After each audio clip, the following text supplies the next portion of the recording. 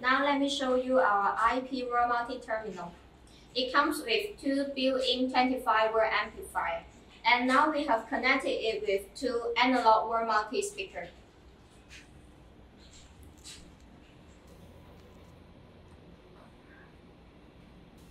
Its main function is to play music and connect the microphone to speak. There are two ways to, uh, to play the music. One is to plug the USB into the IP Wall Mounted Terminal to play. And the another one is to use the uh, media library to play the music. Please note that if we need to use the media library to play the music on the IP Wall Mounted Terminal, we need to set the default ID, default login ID on the software. Now let me, do, let me show you how to do it.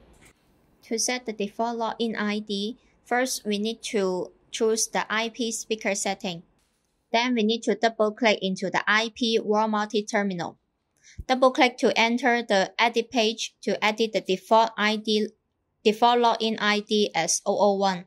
Then click OK. After the default login ID setting, we can operate on the IP Wall Mounted Terminal. First, we need to click Music then choose the music to play.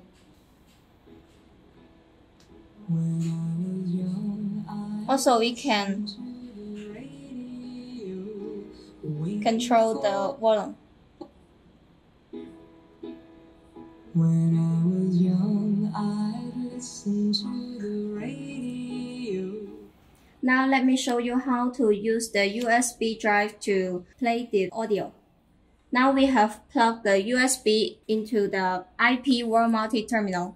And now we can use the use this to play the music. Also, we can use this button to control the volume.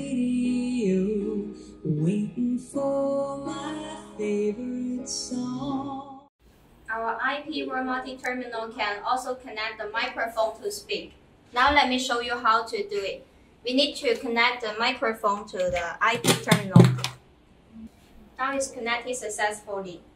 Let me demonstrate. Test, test, test, test, one, two, three, one, two, three. Welcome to experience our IP system.